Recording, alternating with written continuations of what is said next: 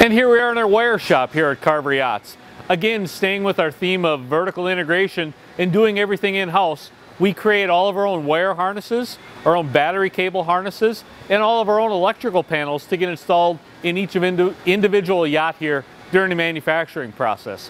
All the wire that we use, it's a multi-strand wire. It's a copper wire with a silver tin coating on each individual strand. And then we use electrical and hydraulic crimpers to crimp the connectors tightly onto the wires. There's no hand crimping done. In this area of the wire shop is where we do all of our panel assemblies. Uh, we build our AC panels and our DC panels in this area. Um, again, they're built individually per boat, per order. Um, so all the breakers are put in per the options that are ordered on the boat. Harnesses are attached.